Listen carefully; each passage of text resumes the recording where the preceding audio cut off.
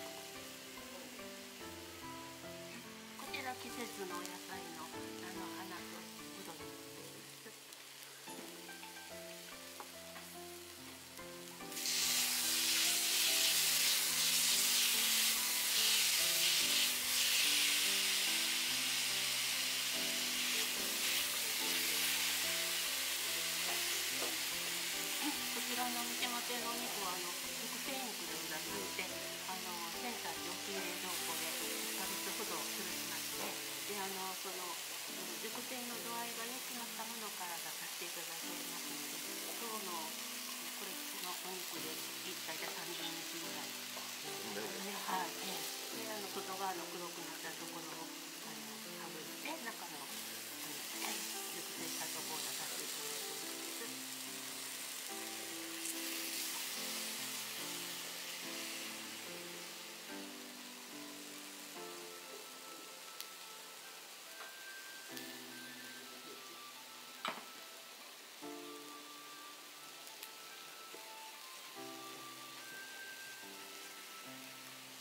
よろしかったらいい時に載ってまいりますのでごはいっしゃっていただきましたら、こ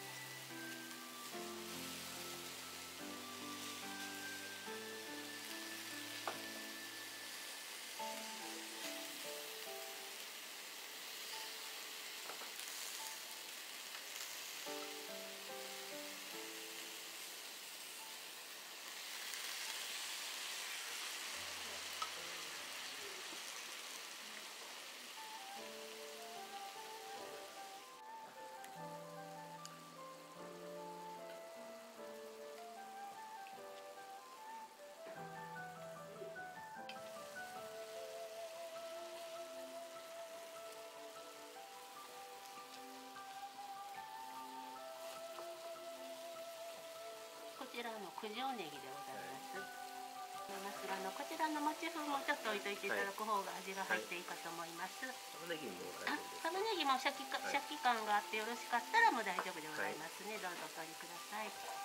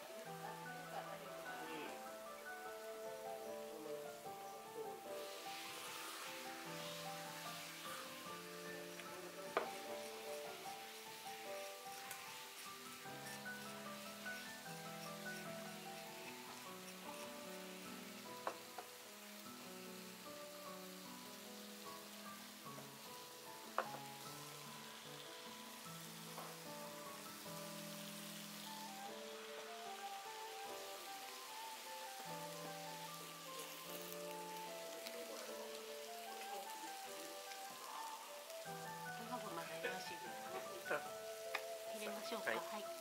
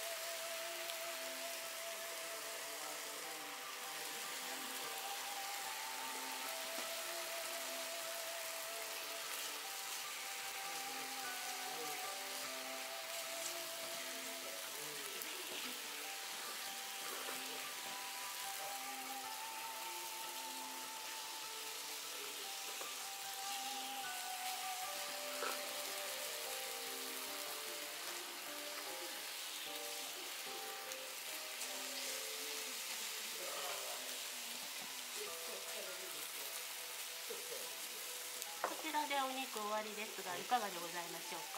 か？